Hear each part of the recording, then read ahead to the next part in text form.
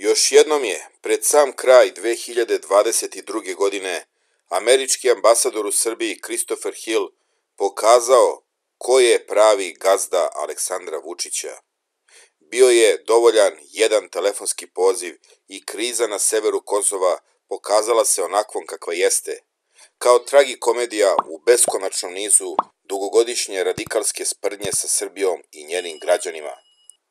Dve nedelje pre okončanja krize, ambasador Hill se 15. decembra 2022. godine oglasio iz Niša sa juga Srbije, odakle je doslovno podržao Vučićevu ideji da podigne oružanu silu rekavši da vlada Srbije ima pravo da se obrati kforu sa zahtevom da se srpske snage bezbednosti vrate na Kosovo, ali to pitanje ostaje političko i samim tim zahteva političko rešenje. I Vučićev ego dobio je sve što mu je trebalo. Pravo da demonstrira silu i sigurnost da ga zbog toga niko na zapadu neće grditi. Dobio je nekoliko dana sve predsjedničke promocije, bio je čak i vrhovni komadant, a onda je gospodin Hill rekao da je dosta. Pred odlazak na kraći novogodišnji odmor, američki ambasador je u stilu Slobodana Miloševića rekao, a sad, nakon praznika, energično na rešavanje kosovskog konflikta. Ne tako davno, američki ambasadori u Beogradu sprovodili su politiku velikog zaštitnika Jugoslavije, a njihove vlade nisu štedele ni novac, ni drugu pomoć, kad je u pitanju bila bivša država Južnih Slovena. A onda je podmukli nož u leđa Srbiji u Jugoslaviji došao sa Kosova i Metohije, pa se i novi odnos Amerike u već napukloj Jugoslaviji mogao osetiti. Pre više od 40 godina, davne 1981. godine, u predvečeri 11. marta, na ulice kosovsko-metohijskih gradova, a pre svega u Prištini, lokalno albansko stanovništvo izašlo je masovno na ulice sa parolom Kosovo republika. Masovna pobuna, oko 300.000 albanaca svih društvenih slojeva, a po nekim procenama i znatno više od toga broja, trajala sve do 1. aprila te 1981. godine, dakle punih 20 dana, sve dok elitne jedinice tadašnje jugoslovenske policije nisu ušle u Prištinu, Peć, Kosovsku Mitrovicu, Đakovicu, Uroševac, Prizren, Podujevo i druga gradska naselja, te nakon više od 72 sata ozbiljnih obračuna sa obostranom upotrebom vatrenog oružja i žrtvama sa obe strane, nije došlo do gašenja pobune. Ni danas, nakon 40 godina, javnost u Srbiji ne zna ni deseti deo onoga što se tada na Kosovu i Metohiji desilo, a desio se napad na Jugoslaviju, na njene najbolje temelje. Iznad svega, desio se neobjavljeni rat Srbiji, koji u drugom obliku još i danas traje.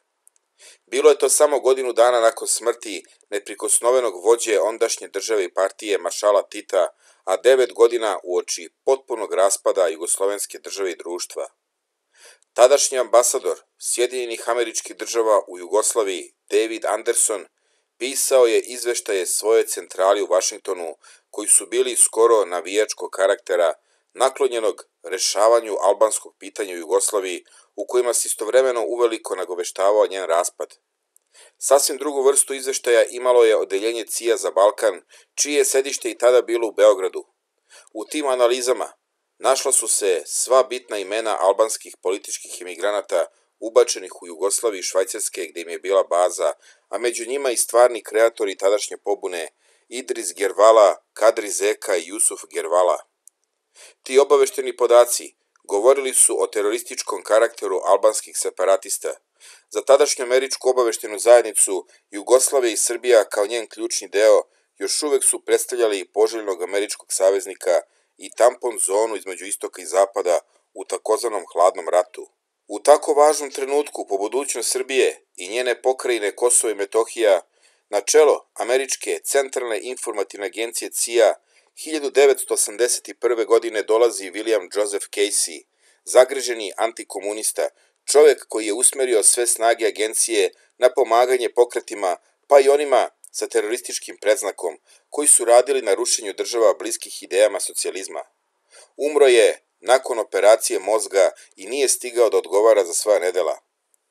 Srbija se u jednom trenutku, kad je pobuna iz 1981. godine buknula na Kosovu i Metohiji, doslovno našla pred albanskim separatistima podeljenim na one koje je kontrolisala CIA i one koje usmeravala bivša sovjetska država.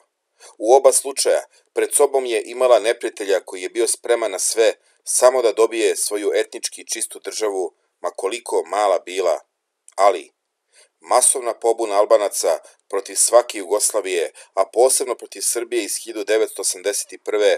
bila je samo deo omnibusa, zapravo nastavak kontinuiranih pobuna iz 1963., 68., 71. godine. Može se danas sa sigurnošću reći da je albanski separatistički pokret na Kosovo i Metohiji u periodu nakon drugog svetskog rata dobijao stalne instrukcije za podrivanje Jugoslavije direktno iz Albanije pod diktaturom Envera Hođe. Tadašnji Sovjetski savez je preko enverizma u Albaniji povremeno i na taj način testirao bolševičkog renegata odbačenog Josipa Broza. Sa druge strane, tokom tog perioda Amerika je podržavala Titovu politiku i integritet Jugoslavije. Pomenuti američki ambasador u Jugoslaviji 1981. godine David Anderson nije imao ni približno iskustvo kako je sa Srbijom, Kosovom i opšte Jugoslavijom imao Lorenz Larry Igelberger, njegov prethodnik na istoj diplomatskoj funkciji. Naime, ovaj dobro poznati bivši američki ambasador i državni sekretar Sjedinjenih američkih država uoči svoje smrti govorio je o nesvatljivoj nekritičkoj podršci Vašingtona nezavisnosti Kosova, značaju Kosova za Srbe, te problematičnom pitanju prava Albanaca sa Kosova i Metohije na samopredeljenje, ali i povratku srpskih izbeglica. I mada je Igelberger, nekadašnji diplomata Bojem, koji je tokom godina svog mandata često provodio noću u restoranima Beogradske skadarlije, znao i da se posađa sa Jugoslavijom, a posebno sa Srbijom i Beogradom. U poznim godinama svog života smatrao da je Bushova, odnosno George W. Bush administracija, napravila tragičnu grešku kad je odlučila da podrži albanski separatizam, da je Bush naseo volji savjetnika koji su tvrdili da će se time izbeći dalji pritisci kosovskih albanaca za nezavisnost i navodno otkloniti regionalna nestabilnost. Igelberger je između ostalog i ovako govorio kad je doživao svoje poslednje veliko političko prosvetljenje. Što se tiče značaja Kosova, mislim da mnogi u Americi i drugde u svetu ne shvataju istorijsku važnost Kosova za Srbiju i Srbiju. Kosovo je oduvek bilo srce Srbije, njene državnosti, njenog verskog opredeljenja. To znam i iz ličnog iskustva kao ambasador u bivšoj Jugoslaviji, da Srbi smatraju Kosovo Srbijom. Ta privrženost Srba Kosovu nije poznata i shvaćena u inostranstvu, dakle, ne samo u Sjedinjenim američkim državama, već i drugde, te otuda možda i takav odnos prema tom pitanju. Rezolucijom 1244 potvrđeno je da je Kosovo i Metohija deo Srbije, ali to nisu prihvatili kosovski Albanci, a i Zapad je nakon perioda od nekoliko godina odlučio da ignoriše tu rezoluciju, čime je uspostavljen opasan presedan. 31. januara 2008. godine ugledni američki list Washington Times objavio je autorske tekstove Lorenza Igelbergera, Johna Boltona, bivšeg američkog ambasadora u Ujedinjenim nacijama, te Petera Rodmana, bivšeg sekretara Sjedinjenih američkih država za odbranu, gde je Igelberger u vezi sa ovom temom bio još jasniji. Jedan od razloga što nisam podržao proglašenje nezavisnosti Kosova i činjenica da smo priznanjem nezavisnosti te pokrajine uspostavili presedan je taj što mislim da ćemo zažaliti zbog te odluke. Pošto će i neke druge zemlje reći, eto, međunarodna zajednica je priznala nezavisnost pokrajine koja je bila deo jedne suverene zemlje i zašto da i mi to ne pokušamo? To bi mogli da kažu Baski u Španiji, Kurdi u Turskoj ili Čečeni u Rusiji i tako dalje. Dakle, imate brojne etintete koji će poželiti da postanu nezavisni i možda oni neće ostvariti svoje ambicije, ali u svakom slučaju uspostavljen je putokaz. Igelberger se setio i Titove rečenice iz jedne davne neformalne diskusije o kolonijalizmu i stranim vojskama u raznim misijama u takozvanom trećem svetu. Kada uđu strane trupe u jednu zemlju, teško ih je posle isterati. Lakše je bilo Svetom Petru da istera nevernika iz raja.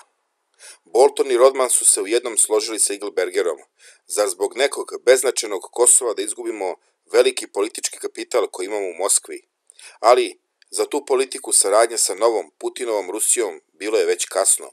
Jugoslavije već uveliko nije bilo, a ni Berlinskog zida, Sovjetskog saveza, pa ni komunizma kao vladajuće ideologije.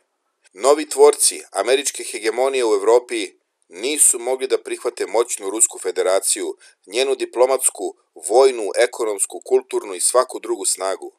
Nanovo je ceo zapadni svet nahranjen besomučnom antiruskom propagandom iz Londona, a u potrazi za novim modelima potpaljivanja antiruske histerije kao idealna personifikacija ruskog zla na Balkanu, našla im se Srbija.